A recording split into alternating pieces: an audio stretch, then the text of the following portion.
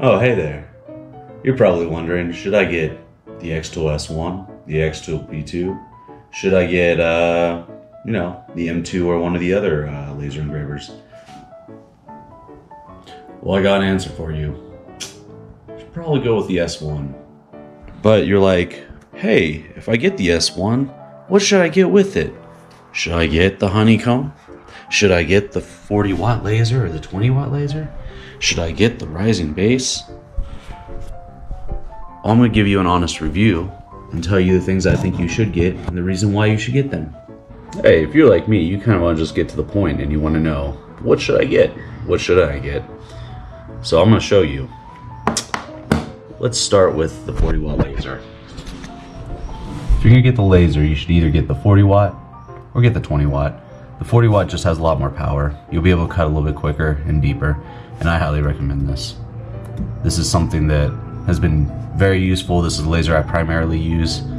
This is the uh, I go-to for almost most of our materials.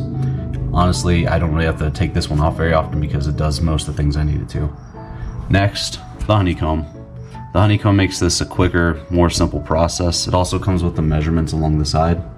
And then for the rails that come with it, uh, you still get those and they're useful every now and then, but you don't you don't really need those anymore. Uh, once you get this, I've used them one time since I've had this machine. The riser base. You absolutely want to get the riser base. I say that because this is where the machine would stop, and there's not as much space in there as you would think.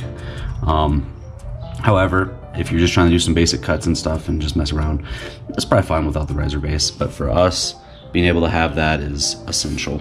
Air assist. The air assist, I think, is one of the most essential pieces you, you can get. I highly recommend it. What it does is it'll blow air through this tube in here, blows out this way onto the wood. So it does two things. It keeps those burn marks at a minimum, but also pushes debris out or uh, debris out so that when it's lasering, the debris will get blown out and it can actually burn deeper so you can get deeper cuts using the air assist. I highly recommend having it. It has been a world of difference. Also having that airflow through there can help keep your laser clean. So now things I recommend not to get. Two watt IR laser. I would not get this. It's still good, it's just not worth the money. Um, if you're planning on doing a lot of metal engraving, you might as well get like a fiber laser. This is just for base level, like if you want to do bracelets or necklaces. And I can be honest, that hasn't been much of a seller. It hasn't been a focus for most people. Um, so, at least from our experience. I'm not gonna pull it over because it's got a lot of parts to it. But the next thing I'm gonna mention not to get is the xTool conveyor. Uh, for me, I, I, personally thought it would be able to do more, but I have a few issues with it. Um, one, when you get the riser base and it goes through, there's doors on both sides. They sit open, so if you actually are cutting, it's going to blow the smoke out. The smoke doesn't exactly get exhausted out as uh, well as it should, so you would want to definitely use that in a place that is, you know, able to get smoky. Um, otherwise, you just have a whole heap of smoke just inside your garage or wherever. The second reason for not getting the conveyor, and this is just for me, uh, for others it might be fine. The boards, you can only do maybe half an inch board pass through. So if I'm feeding a board, I can't do full size boards that I would use on like front doors for signs or anything like that. So that was kind of a bummer for me. It was kind of a disappointment, but um, hey, for you it might be different. The rotary. I do recommend this. Now I don't use it a ton. I've used it a few times. However, this has been probably one of the best items that I've used. I've had very little issues with this. And then you have swappable attachments that put in different size cups or different items in here. But this thing has been very effective. It, it's simple, runs on a belt. Uh, the only thing with this is that you need to make sure when you go into the settings, you put the right settings. Because if you don't put the, the right uh, clamps on here when you go in there, it's going to do it backwards or it's going to do the wrong size. Um, but this itself, I highly recommend if you are doing cups, tumblers, anything round that you need to rotate around, because this makes that process so much better. I know what you're thinking. That's it? No, we got one more thing that I need to show you. the screen printer. Should you get the screen printer? Well, that's personal preference. We bought this. It's actually really neat. I've enjoyed using this. I just highly recommend that if you get it, uh, get quite a few screens and get another frame to go with it because you're going to want to be able to just swap these out really fast. Also, cleaning these things off can be a hassle.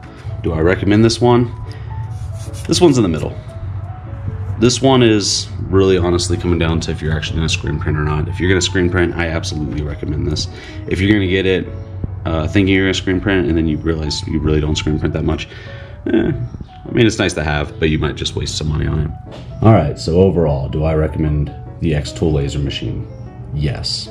The software you get with it, the ease of use. This machine has been straightforward, it's been simple. I think that you can do a lot with this machine. Um, pretty much some of the guys that I know that have the uh, the other machines that are a little bit bigger, CO2 machines and stuff, I can do pretty much everything they can um, with a few hacks and cheats, which like for example the glass.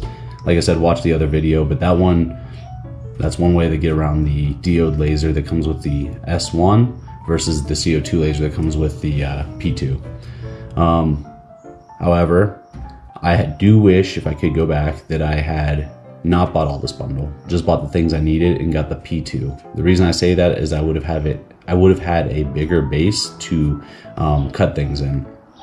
I was going with this one because I thought the conveyor and some of those items I said I don't really highly recommend would be beneficial and I'd be able to do more with that. Uh, but at the end of the day, I found out some of those expensive items that I could put that money towards the P2 for actually ended up uh, not being of much use for me. But just uh, keep some of those things in mind when you're buying this. Uh, maybe go with the P2 instead if you if you want the bigger base. Um, but if you're like me, this machine pretty much does everything you need to. I'm able to make different awards, plaques, and things like that for people. And yeah, I highly recommend this specific xTool machine for the price point. All right. If you have any other questions, comments, or you just kind of want to know something cool about the machine, or you want me to make a video, uh, just go ahead and tell me below. And uh, yeah, I'll make that happen. Maybe.